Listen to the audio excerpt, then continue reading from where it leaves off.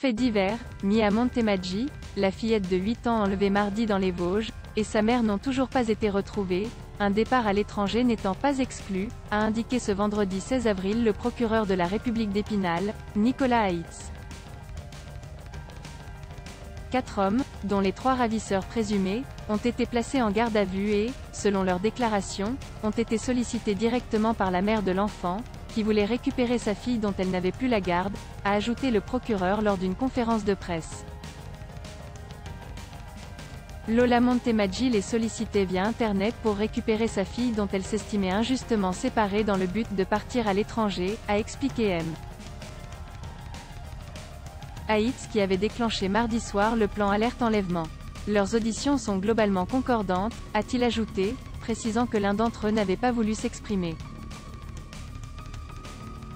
Âgés de 23 à 60 ans et sans antécédents judiciaires, les quatre hommes, doivent être présentés dans la journée à un juge, ont été arrêtés à Paris, en Seine-et-Marne, au Lila, Seine-Saint-Denis, et en Meurthe-et-Moselle. Le script d'un discours à tenir devant la grand-mère de Mia pour se faire passer pour un éducateur, de la protection judiciaire de la jeunesse a été découvert chez le premier d'entre eux à avoir été interpellé. Chez le suspect de 23 ans, des éléments susceptibles d'entrer dans la composition d'explosifs étaient découverts, a indiqué M. Haïtz, précisant que ce volet de l'enquête était désormais entre les mains du parquet national antiterroriste, PNAT. Une enquête préliminaire confiée au PNAT était déjà en cours concernant ces individus dont, selon une source proche du dossier, le profil s'apparente à la mouvance survivaliste.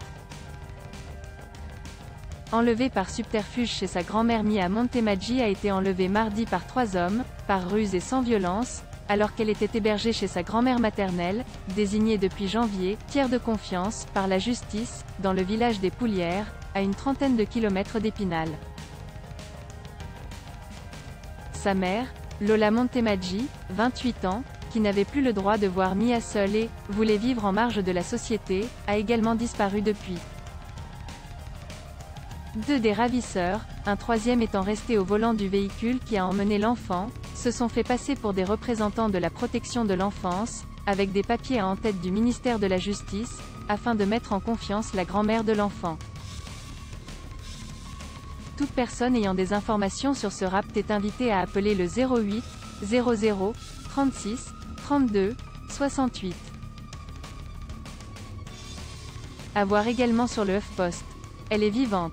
Un bébé réanimé après le sauvetage de 52 migrants dans les Canaries lire aussi, après l'enlèvement de Mia, la mère ne se trouve plus à son domicile, indique le procureur survivaliste, suivi par la DGSI. ce que l'on sait des suspects dans l'enlèvement de Mia.